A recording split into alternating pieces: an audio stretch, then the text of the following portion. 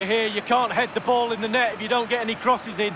The crosses have coming in thick and fast, and that was a beauty. That made the goal. Slightly different vantage point in terms of the goal that was scored.